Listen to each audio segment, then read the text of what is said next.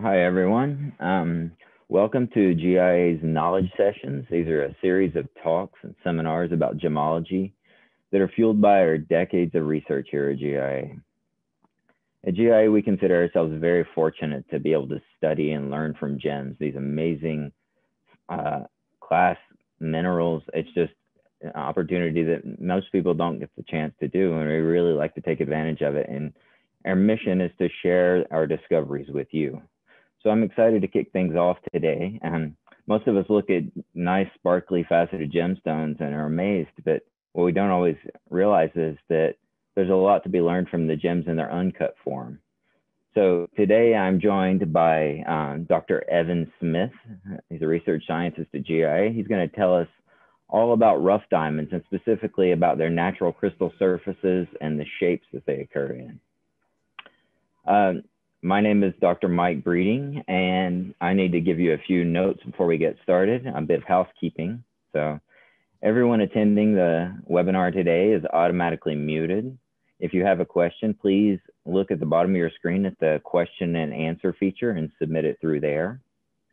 Um, you can ask questions as we go, uh, preferably if you have them, pop them up there and I'll see them and we'll prepare them for, for Evan at the end.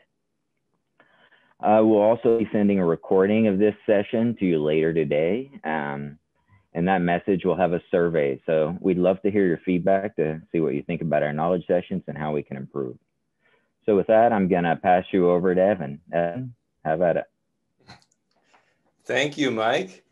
So today we're talking about diamonds in the rough. It's a kind of a fun topic because I get to show a lot of pictures and you're probably used to seeing diamonds like this. If you show people a, an image of some sparkling colorless gemstones, they'll probably just assume that it's diamonds. Um, but we're probably a little bit less familiar with the shape of rough diamonds. What kinds of shapes do we find diamonds in? All people would probably recognize this symbol of a diamond from a playing card. And this symbol's been around for you know hundreds of years since we started using diamond crystals in jewelry, like this Roman ring from the third or fourth century. Here's our diamond right there. Um, so diamonds in their best, uh, sort of most ideal form come in this shape uh, of an octahedron. Now, diamonds aren't just used in their rough state in uh, sort of antiquity. We even have some modern rough diamond jewelry shown here We've got some octahedrons in rings, some cubes that are set in this bracelet. There's a whole range of different kinds of rough crystals. And this is someone's collection from uh, a book from 1902. This person has sketched out their collection of rough diamonds, which I show this picture a lot, but I think it's fitting here too, because uh, it shows a whole different range of morphologies. And uh, right now, it might look like sort of a wild smattering of shapes, but hopefully by the end of this, we can revisit this image and you'll start to see some familiar patterns emerging here. So I mentioned the octahedron as being sort of the most um, ideal crystal shape. And this is controlled by processes during growth when uh, the diamond is becoming a, a crystal, you're adding new atoms to this shape and they get added to this shape in a particular way according to the diamond crystal lattice. Um, and processes that happen after the diamond has grown can modify that shape. For instance, down here, we've got an octahedral crystal that's now been resorbed. It's sort of been dissolved away. And as sort of a rough analogy, I'm showing a pile of boxes here.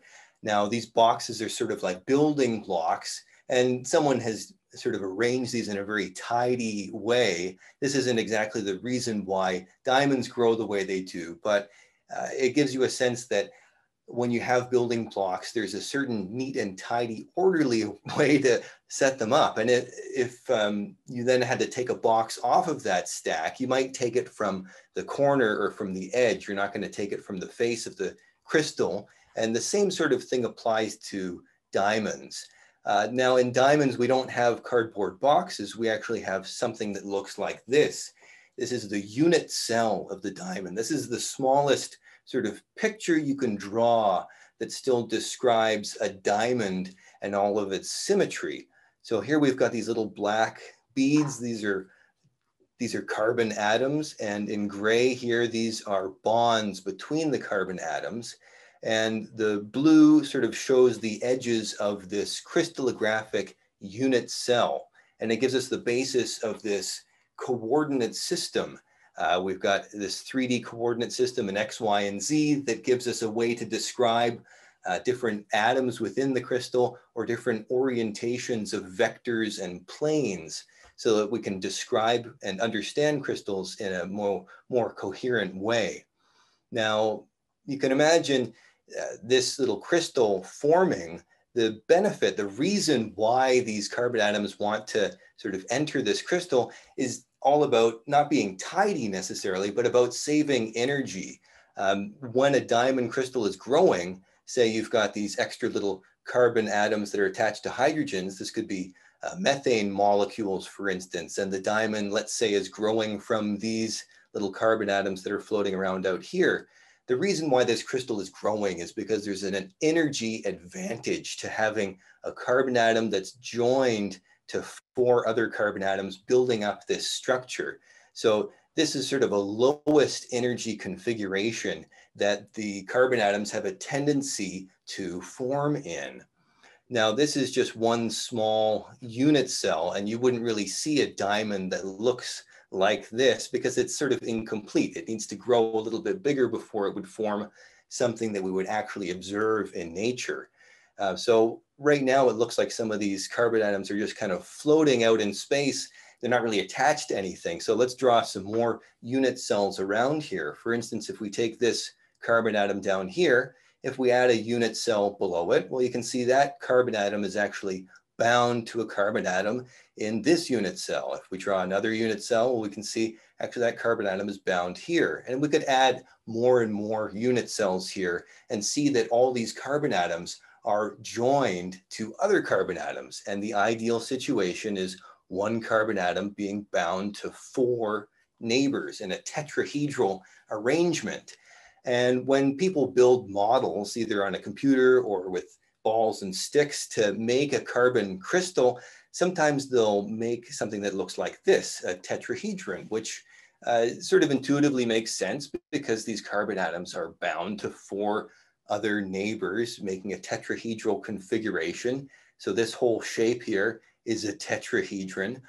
But this isn't really something we see in nature we don't really encounter tetrahedral crystals of diamond. And there's a good reason for that. If you look at this crystal, let's look at the edge of this crystal here. These carbon atoms are bound to two neighbors uh, and they've got sort of two dangling bonds. They want to be attached to two more carbon atoms, but they're not. So this edge here is kind of unstable. And if you look at the point of this crystal, well, look, this carbon atom is only bound to the crystal by one bond. So it's really unstable because anything could come along here and snatch up that carbon atom and destabilize it. Uh, so what would happen if we actually did take off that carbon atom? Well, now we've got a carbon atom at the top that only has one dangling bond and it's still attached to the crystal by three bonds. So this is much more stable now. And we could continue chopping off a couple layers until we have this whole surface at the top of this shape now, where all those carbon atoms only have one unsatisfied bond. And that's the most stable kind of surface we can make in the carbon lattice. And that surface, um, if we put it in context of this sort of 3D spatial coordinate system, that surface is actually a plane that we can describe as being in 111 orientation. The meaning of 111 is not that important. What's important is that in this crystal system, that's a very stable configuration where the carbon atoms are sort of happiest. They're the least dissatisfied and they're mostly attached to the crystal itself. And all the other crystals in, all the other atoms inside the crystal are perfectly happy. They're energetically satisfied. They're attached to other carbon atoms. So if we actually made a more stable crystal of diamond that's just bound by surfaces like this, stable surfaces that are of 111 orientation, the shape that we end up making is something like this. So here's a collection of carbon atoms. They're all bonded tetrahedrally in a diamond crystal shape. And the surfaces are the most stable surfaces that we can make because they're 111 surfaces. And if you haven't seen it already, this is an octahedron. So this is the shape that we talked about as being sort of the ideal uh, diamond shape. And it's made up of these little unit cells. Now, within this coordinate system, we can describe some other planes that sometimes we see uh, within diamond crystals or modifications of diamond crystals. And the ones that are relevant for diamonds are these. So we just saw the octahedron, which is bound by 111 planes. Sometimes we also see forms that look like cubes, and those are bound by uh, 100 planes, again, using this sort of nomenclature of the coordinate system. We also have dodecahedral planes that we would describe as being 110. And sometimes we see combinations of these most important planes. And this is something we would call a cubooctahedron or a cube octahedron, depending on who you ask. So back to the natural diamonds themselves. Here's an octahedron. I've drawn on it, trying to show some of the uh, internal features here because I was planning to cut it for research purposes. Uh, but what I want you to see is that the corners of this octahedron crystal and kind of the edges are a little bit rounded. And this reflects something that happens to octahedral crystals quite often when they're sitting in the mantle or during their volcanic transport up to surface, they get a little bit dissolved or resorbed. So this is something that happens after diamond growth. We see this phenomenon called resorption, which is sort of like dissolution or corrosion of the crystal by fluids or melts that can kind of change the crystal shape. And quite often we'll see octahedral crystals kind of develop into a more rounded form. And again, this is something that can happen uh, either while the diamond is sitting in the mantle for millions of years, or it can happen on its way up to surface when the diamond is sitting in this hot magma that's full of volatiles like CO2 and water the diamond can sort of be etched away. So here's an octahedron on the left, and you can see the edges have sort of been resorbed away. Uh, and on the right, here's another octahedron that's been resorbed even further. And you'll notice that actually the new surface that's appearing here isn't perfectly flat. It's got a little bit of a curve to it. And it also has a little bit of a, a line kind of dividing what would otherwise be a rhombus shape here. So what is this shape? Well, it's roughly approximating what this is, which is a dodecahedron. So this is a nice polyhedral garnet crystal that makes an ideal dodecahedron. It's got flat faces, but what we see in the diamonds is something that resembles that, but the faces are a little bit curved. So even though it resembles this dodecahedral face, we call it a dodecahedroid. And the oid part of it means that it's kind of not really a dodecahedron. It's just approximating a dodecahedron. Again, because these faces are not perfectly flat facets that have grown into that orientation, they've been resorbed into that surface. Uh, and sometimes this is just shortened. People call these dodecs for short. Um, also, you'll sometimes hear the term tetrahexahedroid, which is a more complicated shape where these rhombus faces are actually divided down the middle to make little triangles. And the reason people use that term sometimes is because when you look at some of these dodecs, uh, they actually have a little line, a medial line dividing them in half like this and they're no longer really dodecahedroids. You could better describe them as tetrahexahedroids. That's a bit of a mouthful. So again, sometimes people just call all of these dodecs. The important thing is that they've been resorbed into this shape. So here's another dodecahedroid. Uh, this time it doesn't actually have those little medial lines, and instead it's been resorbed into this shape uh, that's bound by rhombuses. We also see some ridges on here, and these are another feature uh, that's been exposed due to resorption of the crystal. This is plastic deformation. These are plastic deformation lines. And these are actually planes where the crystal has slipped a little bit because it's been deformed. While it was still hot in the mantle, diamond can still uh, squish a little bit. It doesn't quite behave as brittly as it does at surface. So resorption of the diamond can cause it to form in this dodecahedroid shape, but it can also expose some of the internal structures and that can be manifested in the diamond's topography as these plastic deformation lines. And again, here are those rhombuses that make up this dodecahedroid shape. Now here's an interesting diamond. It's sort of half octahedron on this side and half dodecahedron on this side. Uh, this is the other side of this crystal. You can see it's sort of rounded and dissolved on one side and sharp and still maintains its octahedral shape on the other side. This is something called a pseudo hemimorphic crystal. Um, so it just means that it's different on either side. And the pseudo part of it means it hasn't really grown into this uh, lopsided shape. It's actually been uh, dissolved into this shape. So what's actually happening here is that part of this diamond crystal has been protected uh, because it was embedded inside a rock on its way up to surface and only part of the diamond crystal has been sort of etched or resorbed by fluids. So it's partially resorbed and partially protected, making a pseudo hemimorphic form like this. Now, resorption can sometimes be extreme and sort of get rid of most of the crystal structure uh, and, and, regular form that we might otherwise expect. And sometimes we can see crystals that appear to be kind of irregular in shape because they've been so extensively resorbed.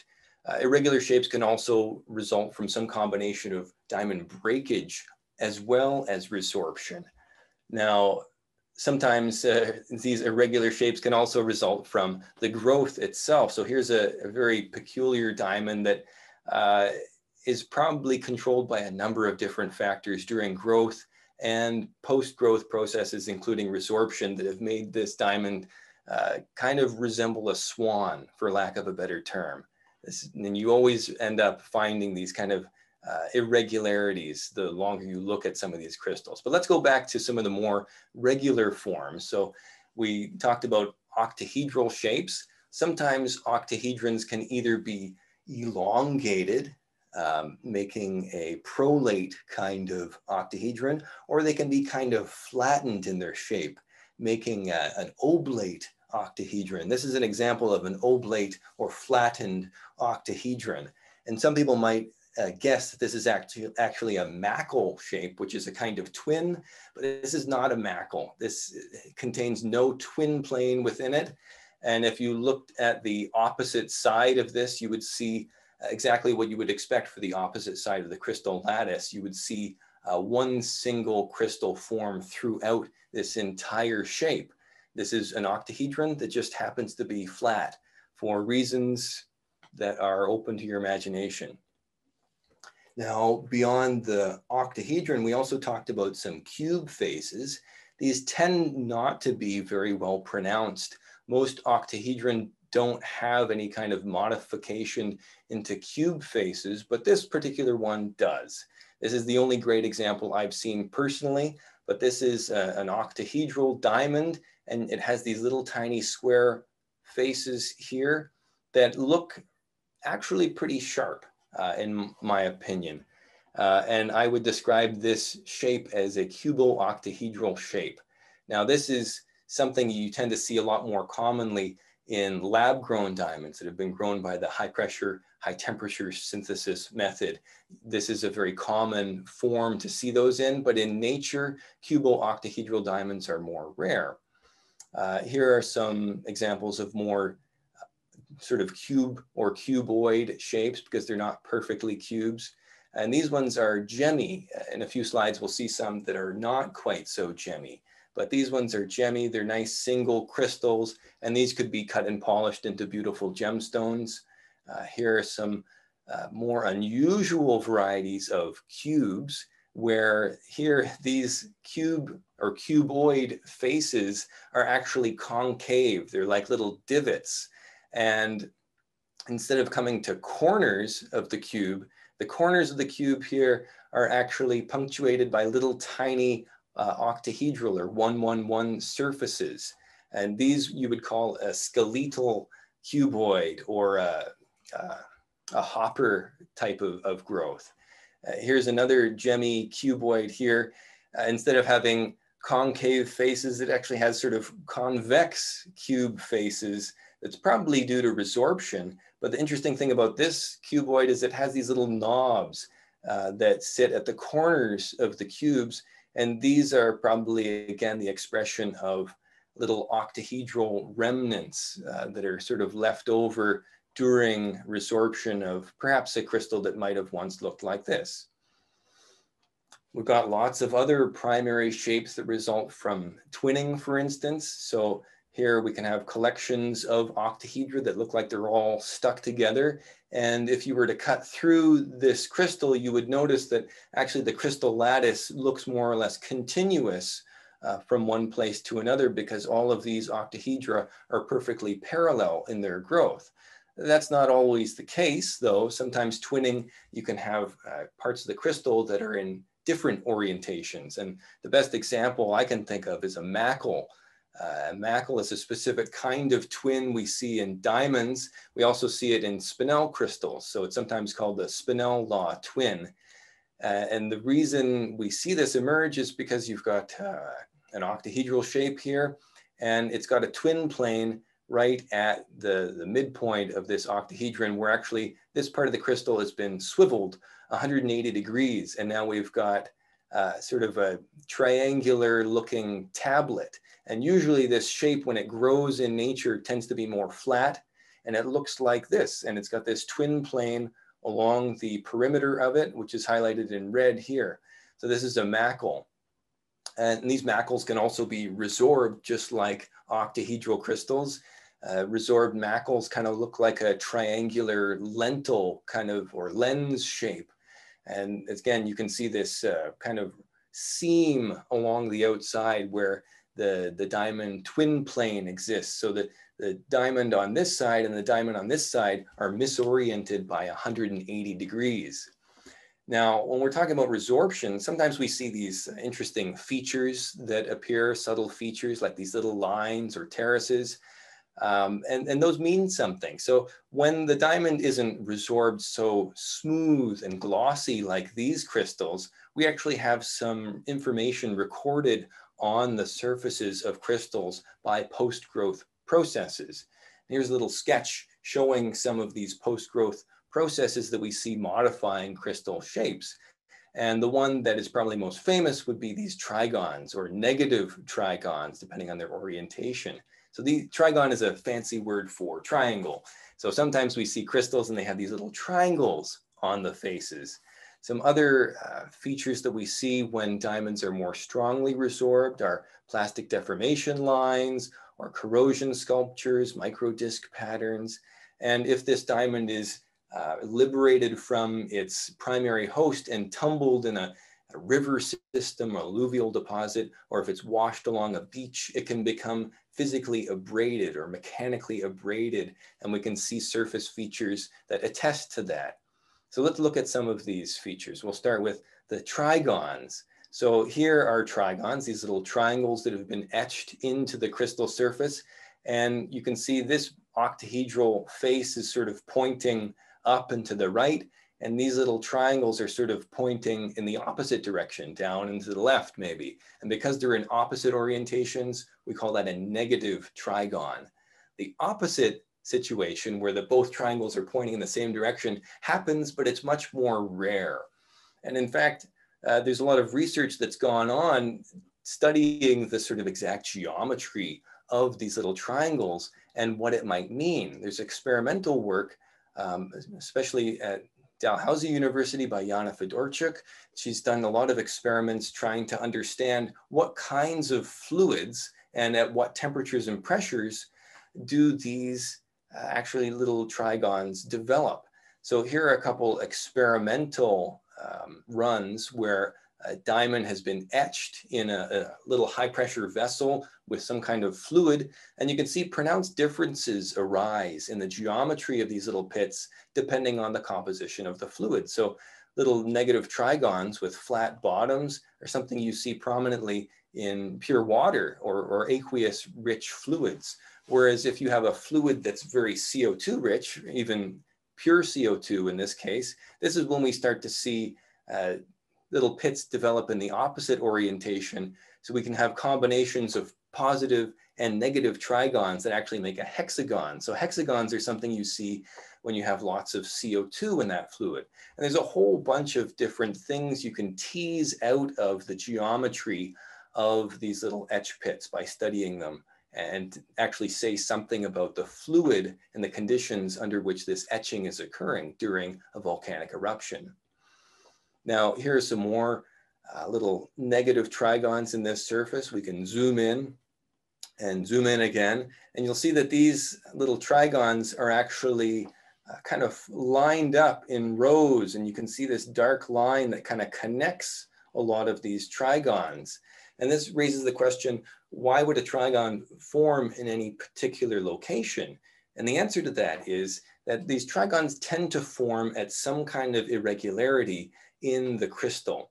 So they don't just form anywhere. Quite often they form where there's a dislocation that intersects the crystal surface, or in this case, these little lines are actually uh, mechanical twin planes. So this is a pink diamond, and these pink lamellae, these little uh, planes of pink here, are actually mechanical twin planes where the diamond has been smushed a little bit and the crystal has actually changed orientation along that plane. This is what it looks like in cross section here. So this is the sort of pink uh, little plane that we've got and the crystal orientation here is different than it is in the neighboring parts of the diamond. And because of this misorientation, this becomes a preferential site of attack for etching. And this is why these uh, little trigons are forming prefer preferentially along that mechanical twin plane.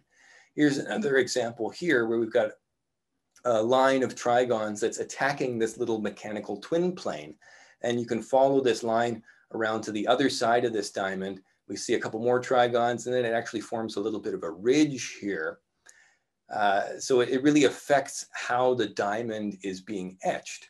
Uh, here's another diamond. This one's quite a bit more severely resorbed. And you can see these very sharp ridges here cutting across this, this diamond. And these are more uh, little twin planes that have been sort of left uh, to etch differently than the surrounding diamond because the diamond is oriented differently in that one plane. Now, here's something that looks similar, uh, but these aren't mechanical twin planes. These are little slip planes so that the, the diamond isn't actually twinned uh, in any respect here, but we've got slip planes where the diamond has squished and there's a lot of dislocation movement. So the, the diamond actually has a lot of dislocation sort of lined up in planes, many parallel planes in this orientation and also in this orientation. And these slip planes, again, become a different part of the diamond, sort of a different, uh, they behave a little bit differently when the diamond is being resorbed. So they don't get resorbed at the same rate as the neighboring diamond. So these slip planes end up being little tiny ridges and we call these plastic deformation lines. And these are something that we notice quite prominently on brown diamonds. And this is one of the first observations we had to suggest that when we see a lot of plastic deformation in a diamond, that diamond also tends to be brown. There's some kind of a link between brown color and plastic deformation. Now, uh, going back to this diagram, so we just saw plastic deformation lines, we saw some of these trigons. Uh, now let's look at a couple of these sort of more unusual uh, kinds of uh, features, surface features resulting from resorption. So here we've got some hillocks. These are sort of almost like the remnants of octahedral crystal planes that have grown in this octahedral orientation. And when you dissolve them away, uh, you can end up with these little ridges here. Now these are quite smooth. We would describe them as sort of teardrop shaped hillocks uh, on this resorbed dodecahedral surface. Over here, we've got another hillock, but instead of sort of being smooth, rounded, and teardrop shape, it's got more triangular faces to it. This is a pyramidal hillock. Down on the bottom here, we've got something that looks a bit different. We've got something called corrosion sculptures, these depressions in the diamond that are much more irregular in shape. And these appear not to be so strongly controlled by the underlying crystal lattice. And in fact, the shape of these is controlled, in this case, more strongly by the shape of the melt or fluid that's butting up against the diamond. So the, the shape of the, the bubbles and the fluid and, and all that sort of, uh, the shape that that makes against the surface can affect the shape of this uh, resorption. And you can end up with kind of irregular, unusual rounded depressions. And a, a really extreme example of this where the fluid or melt controls the shape of the resorption is this. These are micro disc patterns. So you can see in this resorbed surface here, these faint little circles. And some of these circles are overlapping. On the right, this almost looks like the surface of the moon. Uh, you got all these little circles here that can either be slightly depressed or slightly raised. Now, these really don't seem to be following the underlying crystalline architecture of the diamond. And in fact, what we think is happening in these cases is that these are the expression of resorption where there is bubbles. We've got, uh, for instance, here's a, a, fizzy drink and it's got some lime wedges in it. And this is something we're probably familiar with as an everyday example. Uh, in this volatile rich fluid, sometimes we get bubbles on the surface of foreign objects. So maybe that's what's happening with some of these diamonds where they've got bubbles forming on the surface of the diamond that are either protecting or perhaps enhancing the etching of that diamond just around the, the, sort of shape and location of that bubble. So we end up with these circular uh, micro disc patterns. Now, the other thing that can sort of control the localization of etching is cracks. We can either have cracks in the diamond itself that cause uh, sort of an enhanced etching or just around the crack, or sometimes the, the rock itself that's encasing the diamond can have cracks in it that then localize the sort of supply of etching fluid. And in either of those cases, we can have etching uh, into the diamond that actually cuts a little rut or a, a, little groove into the diamond that again doesn't seem to follow the crystal morphology very well. Um, here's another example where we've got a little bit of a pit and there might have actually been an inclusion that was sitting there, but when the diamond was resorbed down to this level, that inclusion then became exposed perhaps and has completely been etched out to make a pit.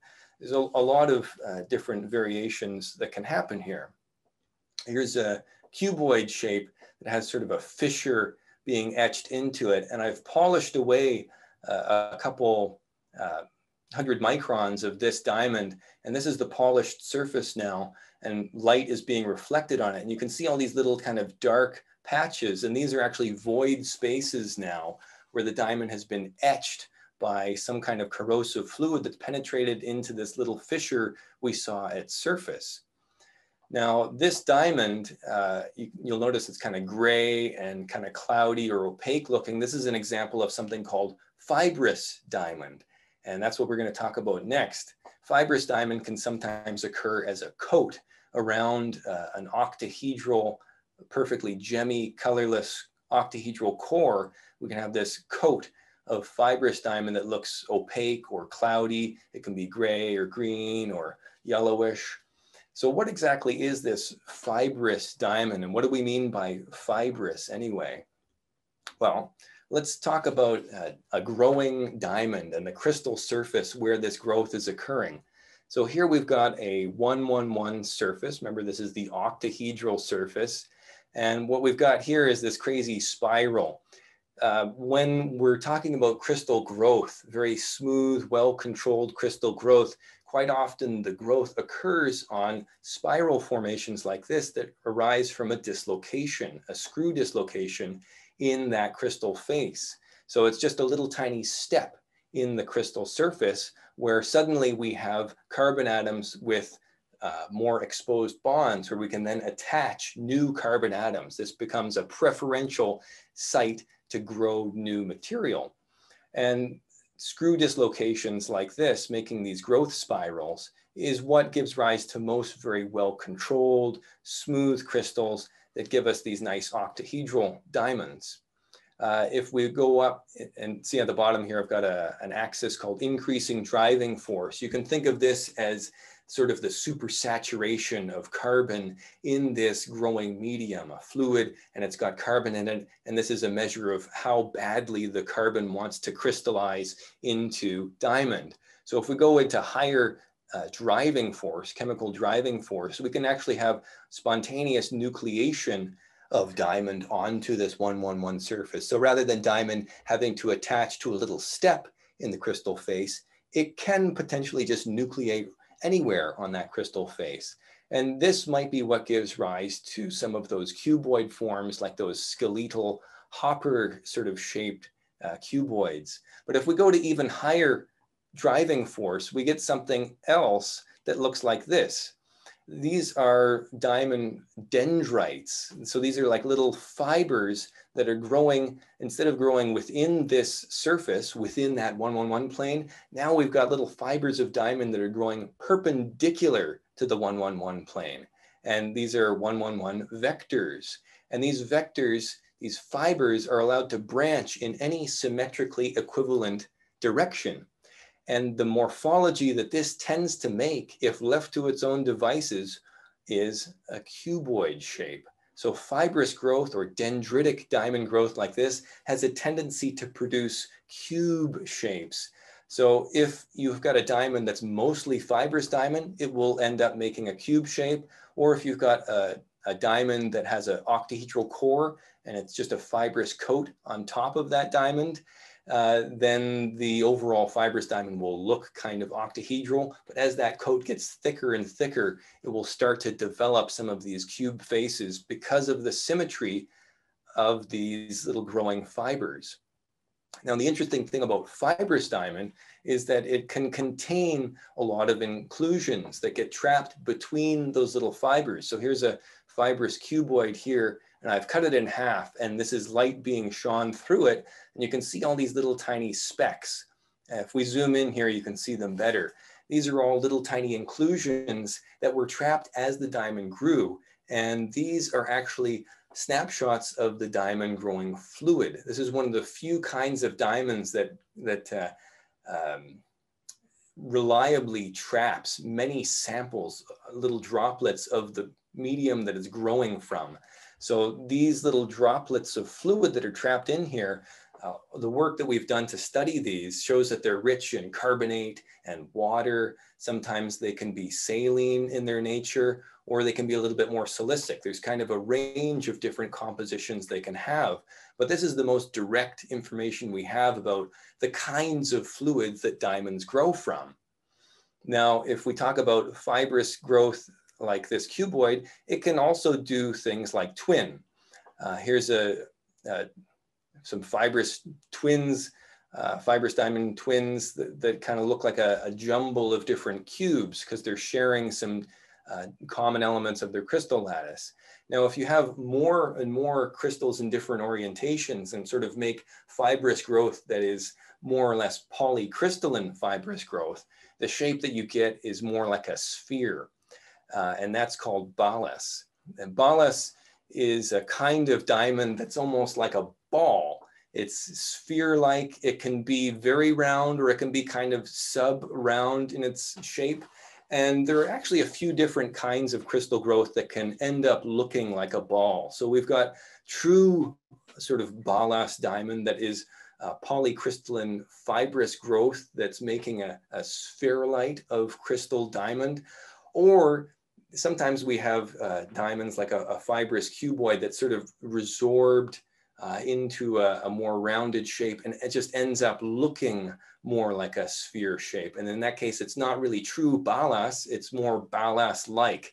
So there are maybe seven or eight different kinds of diamond growth that could uh, through some kind of combination of growth and resorption end up looking like a ball-like shape. So there are a few different kinds of balas and balas-like diamonds. If we keep talking about polycrystalline diamond, uh, we have to talk about a very common kind of diamond that is often called bort or boart, depending on how you spell it. Uh, it's also called framesite sometimes. And this is a polycrystalline diamond. It probably has hundreds of different diamond crystals all smushed together. And if you look at some of these voids within it, if you looked in there with a microscope, sometimes you can see octahedral faces uh, of these individual crystallites all sort of smushed together. And this is actually a very common kind of diamond, but most of it ends up being used for industrial purposes. Another kind of, um, here, here's another example of a polycrystalline diamond. In this case, you can actually see on surface some of these individual uh, crystals, and it kind of looks sugary in its texture, like a lump of sugar. Um, but what I, what I wanted to show next is uh, another kind of polycrystalline diamond that is one of my favorites. It's something called carbonado. Now, carbonado is kind of an enigma. Uh, it's polycrystalline diamond. The, the diamonds are sort of micro-sized, so there are many, many diamond crystals all smushed together in these carbonado uh, lumps. And actually the largest diamond ever found, non-gem quality, but largest by weight, is this diamond here shown in black and white. This is the Sergio diamond, which was 3,167 carats. So it's just over a, uh, just a little bit bigger than the Cullinan diamond, which was the largest gem quality diamond ever found. Now this diamond was actually uh, I think broken up and used for industrial purposes. It has great value as an industrial diamond because it has such small crystals all in random orientations. So it has the hardness of diamond, but it's also relatively tough because if it develops a crack, the crack doesn't propagate through the entire lump of carbonado because it stops as soon as the crystal stops and, and sort of butts up against the next neighboring microcrystal. So carbonado is very, very hard and very, very tough. And until we developed uh, lab grown or synthetic diamonds for industrial uses, carbonado was the, the best material you could really find for abrasive purposes. Now, carbonado is interesting because um, it has these unusual properties. For instance, it has these pores that are kind of hard to explain.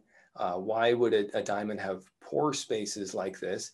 And on some examples, these don't show it very well, but the surface can sometimes be glassy or almost look like it's been melted.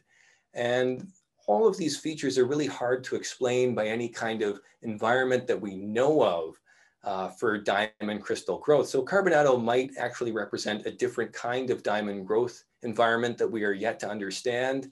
And one of the leading experts in carbonado, Steve Haggerty, who's uh, actually this paper is from this, uh, these images are from his paper. Steve Haggerty uh, prefers the idea that actually carbonado might have formed outside of the earth. It might be an extraterrestrial material that was sort of rained down uh, on the earth, like uh, imagine a, a meteorite made up of carbonado. Uh, importantly, we never actually find carbonado in primary deposits. We've yet to find true carbonado embedded in a kimberlite. So we have no real evidence that it's actually come out of the earth like other kinds of diamonds, which again leads to this idea that maybe it's not from inside the earth. It's a, it's a outstanding mystery. Okay, let's come back to these surface features here, uh, back to some normal diamonds.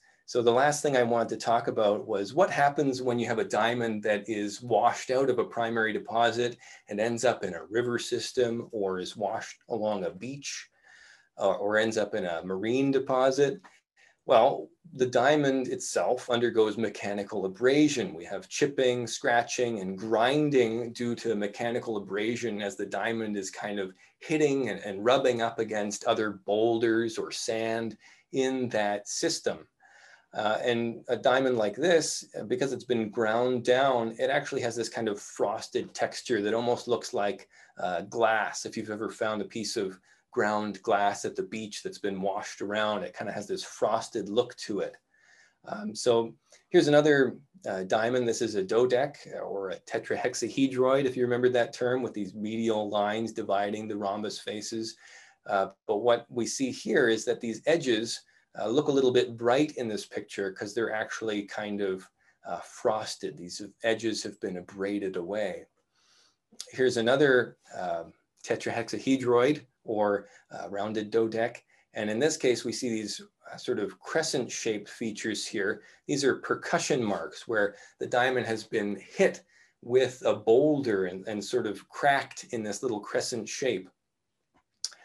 Now, if you were to just see this diamond uh, removed from its geological context, just based on these crescent-shaped features, you could probably guess pretty accurately that this was recovered from an alluvial deposit. And more extreme examples, we can see diamonds being completely just rounded off and frosted. Now this diamond looks kind of black because the surface is so ground down, but if you shine a bright light into this diamond, uh, inside the light can now exit through the surface and you can see the surface textures a little bit more clearly. And this surface uh, is ground down and you can see all these little tiny uh, semicircular sort of crescent shapes, lots and lots of little tiny percussion marks. So this is a severely um, eroded diamond that was probably washed along a beach at some point in its history uh, to achieve this degree of mechanical abrasion. Now, I've shown a lot of pictures here today, and a lot of these uh, pictures are from this book, uh, which I, I, like this book a lot because it has some great pictures in it that uh, show some of these features. So if you'd like some further reading, I, am not usually in the habit of recommending books, but because I've shown a lot of the images from this book, I, I would like to recommend it. Uh, it's uh, Diamonds in Nature by Tappert and Tappert 2011. Uh, it's available electronically. Uh, if you're also interested in seeing more rough diamonds, I would recommend that you go online. And there are lots of great images on websites like mindat.org or even uh, places that are selling rough diamonds, online stores, for instance, John Betts Fine Minerals, or even if you look on eBay, there are sellers uh, offering rough diamonds. And it's a great way to see a wide variety of different uh, shapes and surface textures that exist in nature that you might not see uh, necessarily uh, just by looking at jewelry. So if we come back to this picture that we saw earlier, this sketch, uh, hopefully some of these forms now look a little bit more familiar to you. We've got examples of these sort of ball-like or spheroidal diamonds that we would call balas or balas-like diamonds. We've got examples of twinned octahedra. We've got dodecs or tetrahexahedroids. We've got some that look more elongate. Uh, for instance, this little elongated octahedron down here. We've got irregular shapes. And we've got macles that are these sort of tabular triangular features. And macles themselves are twins, but sometimes the twins can further be twinned. You can make multiple twinned macles that, that end up making these uh, six-pointed star shapes. We've got lots and lots of examples of irregular shapes. The possibilities are, are really endless. And um, I think um, it's really interesting. I, I, always have a great time looking at rough diamonds. It's always fun to sort of figure out what's going on and what kind of a shape it is that you're looking at. So I'd like you to remember uh, from this presentation that the diamond morphology that we see uh, when we, we pick up a rough uh, diamond, that morphology is a function of this atomic scale lattice, the crystal structure of the, the, the diamond itself at the atomic scale. And the shape is sort of controlled by two competing things. The processes during growth, that is how the atoms are being added to that crystal as it's being built up. And also the processes after growth. That is the processes perhaps that are uh, removing diamonds by resorption or abrading the diamond away. And all of those features, both the growth and the modification post-growth, that whole shape of the diamond is sort of a record. It's a physical record of all of these geological processes. So I hope the next time you look at a faceted diamond, you pause for a moment and think about the diamond in the rough. Now, I'll take any questions if you've got them. Thank you, Evan, for all that wonderful information. It's not often that we get to hear lots of details about rough diamond surfaces and, and forms. There are a number of questions, so we'll just kind of start at the top. Um, one of the early ones says, if the octahedral plane is the most stable plane in the diamond, why is it also the cleavage plane and the glide plane during deformation? Yeah, so it's it's stable because there are few um, that that orientation of a plane has very few. Um, if you draw a plane through the crystal, there are very few bonds intersecting it. So that surface has very few dangling bonds. So it's a stable outer surface of the diamond, but because it has very few bonds passing through that plane, it's also a plane of weakness. There's sort of in that orientation, there's the least amount of uh, pull holding the diamond together. So it creates this uh, weakness where the diamond can either be split apart or where it can be sort of sheared by plastic deformation at high temperatures in the mantle. Cool, thanks. Um, another one is, is there a way to distinguish resorption uh, easily from alluvial wear? How would you describe the best way to do that? Yeah, I, I think um, usually if you look at the diamond under magnification uh, with good lighting and you can see it well, mechanical abrasion tends to look frosted it's like the diamond has been chipped away in, in uh, sort of the micron scale. It looks like it's been ground down. So it has a more matte appearance, whereas resorption tends to make more glossy looking surfaces, even when it's, um, when it's not perfectly shiny and glossy and it's more of a corroded crystal surface, it can appear uh, rough, but under higher magnification, you can see lots of um, asperities and points uh, whereas a mechanically abraded surface is sort of smoothed and frosted and matte looking. So I, I, would sort of base it on uh, one, whether it's sort of glossy and sparkly or matte and ground like frosted glass. And the other thing is just the, the shape of the surface. Does it have these little um, percussion marks? Are the edges ground away? Uh, and if you're lucky enough to know where the diamond is recovered, if it's recovered from an alluvial deposit, quite often you're going to see some of these mechanically abraded surfaces. So it sounds like it's all about the texture. Very much so, yeah. We have several questions about trigons, so I'm going to kind of uh, put those together for you. Hopefully, it's not too much at once. Um, one of the questions is if you see a trigon on a colorless stone, is that definitive evidence that it's a diamond? And then a following question would be, uh, do trigons ever occur on laboratory grown diamonds? And then finally, sorry to complicate this, but um, how do you know trigons are from etching rather than from primary growth?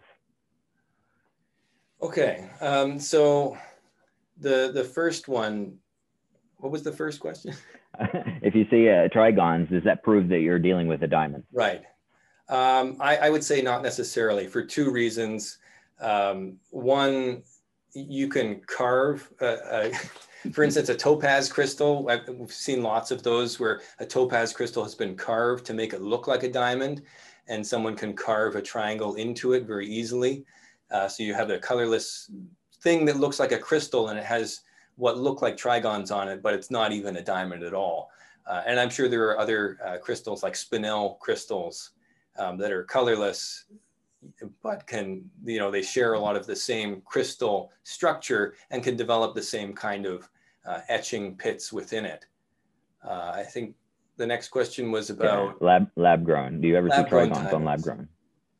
Um, generally, we don't see trigons on lab grown diamonds, and and the reason for that is, is that uh, the the sort of process to make lab grown diamonds is all focused on growth. There, there's no real stage in there that's resorbing the diamond. Uh, and, and, the other thing, I guess, is that the, uh, the fluids involved in lab grown diamonds are, are uh, usually a metallic flux. So it's a very different kind of fluid that the diamond is interacting with.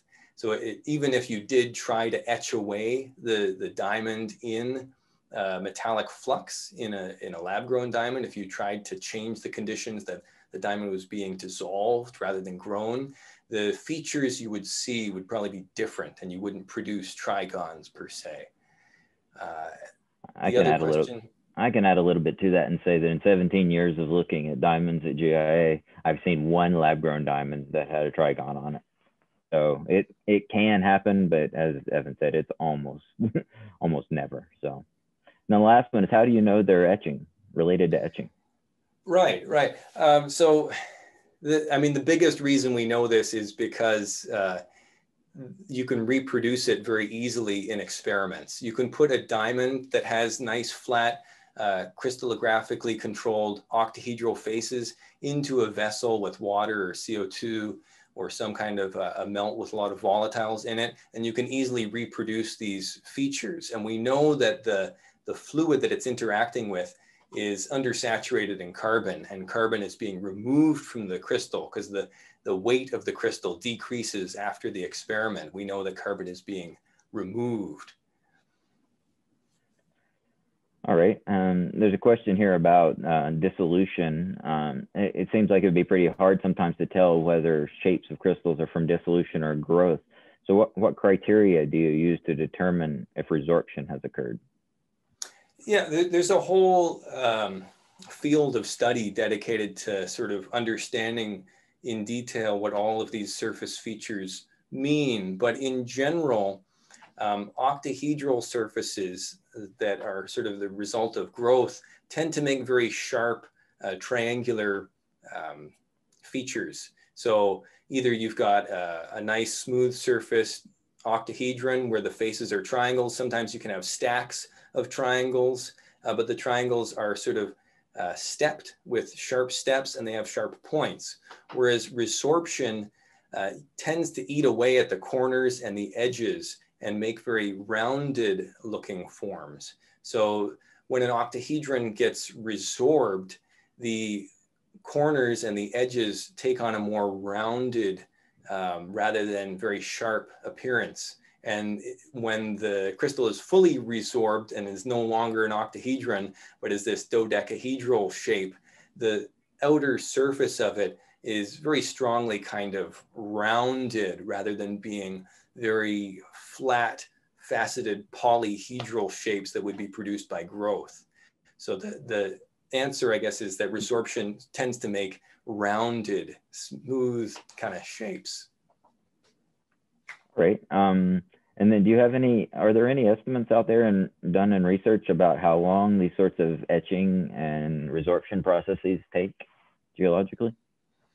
Um, I, off the top of my head, I'm not sure. I mean, it's very quick to, to say the least. It, it, most of this etching that we see, a lot of it looks like it's dominated by water that's related to the kimberlite eruption. Um, so the time span of a lot of the resorption we see is on the same order of magnitude as the kimberlite eruption itself. And we think that kimberlite eruptions that bring diamonds from the mantle up to surface are things that occur over the course of maybe hours or days. So a lot of the resorption we see is probably taking place relatively quickly on a geological time span, especially if you compare it to the length of time we think it takes to grow a diamond, which we think might be millions of years or more. That's pretty amazing the the difference there, how fast one process is. Yeah. Um, couple questions on uh, fibrous diamonds, and I'll combine two of them together. Does fibrous growth count as polycrystalline diamond or not? And are fibrous diamonds classified as gem diamonds or non-gem diamonds? Okay, yeah, those are great questions. The first one, uh, is it polycrystalline or not? It depends on who you ask. Uh, sometimes it's sort of cast as being polycrystalline because people describe uh, a gem quality octahedral diamond as being a monocrystal, which then by default means that anything that's not that is some kind of a polycrystal. Um, but I, I would say that it's more like a single crystal because it maintains that uh, crystal symmetry. If a fibrous diamond grows and makes this cube shape, that means that the diamond lattice at one end of that shape and the other end of the shape are in the same orientation. So the, the orientation of the diamond lattice has been maintained across that whole cube. So based on that criterion, I would say that it's more likely that this should be classified as a single crystal. And I would liken it to a snowflake, which is another kind of dendritic uh, crystal that grows by branching. And all of the parts, all the different branches of a snowflake are in the same orientation. And that's why a snowflake has this overall symmetry to it that makes a, a six pointed kind of star or hexagon. So by the same virtue, a, a polycrystalline diamond wouldn't make a shape that's got this outward uh, symmetry to it. So I think you really have to call a fibrous diamond uh, a single crystal growth event that's just uh, very branching. And the second part of that, is it ever used as a gemstone? Usually not because it has a lot of micro inclusions in it. So it tends to be uh, either opaque or cloudy in appearance, but it can be used as a gemstone. You can cut, uh, for instance, a, a fancy gray color that has a low clarity from it, or you could use the cube as is. Uh, we saw at the beginning, I showed a bracelet that was made up of cuboid shape uh, diamonds, and those were all fibrous diamonds. And sometimes uh, these can have some interesting colors too. For instance, they can be uh, kind of a vivid yellow color that makes them even more attractive. So cubes aren't totally written off for their uh, application as a gem. I mean, it's all in the eye of the beholder. A lot of people find it very interesting, including myself. Great, thanks. Um, we're out of time, but I'm going to ask you a couple more quick ones because I thought they were sort of interesting. Um, sure. With regards to carbonado, do you do you know how rare carbonado is, and and how rare is it compared to other gem diamonds? Yeah, as far as I know, it's extremely rare. Sometimes the word carbonado gets applied to any polycrystalline diamond, especially if it's dark in color. But in its strictest sense, what qualifies as carbonado has only been really recovered from, um, from a place in Brazil and then another place in, in Africa. If you imagine uh, before the Atlantic Ocean opened up, uh, where Brazil joined, um, joined Africa, that sort of overlap in regions between Brazil and, and Africa, those are the two regions where we find carbonado. So if you consider them being uh, from a single kind of thing, a meteorite that fell from the sky in that region before the Atlantic o Ocean opened, then maybe you've only really got one sort of area where carbonado was deposited. But eh, overall, yeah, carbonado is extremely rare. So yeah, it's kind of cool to think about. So it's wild material. Yeah. All right, and then the last one, simply because I love uh, impurities in diamond, I have to ask you, um, how do things like nitrogen and boron affect the morphology and or the resorption of diamond? Yeah, I mean, that's kind of a tough question. I think nitrogen um, or boron, I mean, they're similar in size and, and their chemical characteristics they're similar to carbon, so they can be incorporated into the growing crystal the same way sort of that carbon is as this crystal is uh, accumulating atoms from the surrounding growth fluid. It can pick up these things. But what can happen is uh, in, in extreme cases with any impurity, they can sort of um, block off that region of the diamond. If you attach a nitrogen atom to the edge of the diamond, now the, the next uh, carbon atom that comes in isn't going to see carbon atoms, it's going to see this nitrogen atom. And it, I'm sure that has some kind of an effect to the way it grows. Um, I, I, don't know for sure if th there's really discernible effect in natural diamonds if um, adding nitrogen, more nitrogen to the system really changes the crystal morphology we see. Um, and, and, and, kind of a follow up to that, the the type the large type two diamonds that you've done a lot of work on are all quite often very resorbed, right? Yes. Is that thought to be a product of their where they grew? Yes. That, so we're talking about those large type 2A diamonds that we now think are quite often sublithospheric in origin. Um, they are almost always very, very strongly resorbed. And that is probably a function of the place where they grew and the way they get up to surface more so than it could be due to their lack of nitrogen. So they're strongly resorbed because of the geological processes that have resorbed them, as opposed to something special about the diamond themselves. So having more nitrogen in its structure probably wouldn't armor it against that resorption. All right, good. I think you answered that pretty thoroughly. Thank you. All right, with that, we're gonna have to wrap it up. Um, if you have any lingering questions, you can find GIA on Instagram, Facebook, LinkedIn, Twitter. Um, thank you all for coming and joining us. Um, we'll hope you will join us again next week. Uh, we'll be graced by GIA instructor Kate Waterman, who will discuss the history of engagement rings. So it should be a fun and, and different uh, bit of a knowledge session. So Hope to see you then. And thank you all for attending. And thanks once again, Evan, for a wonderful presentation. Thank you. Goodbye, everyone. Bye bye.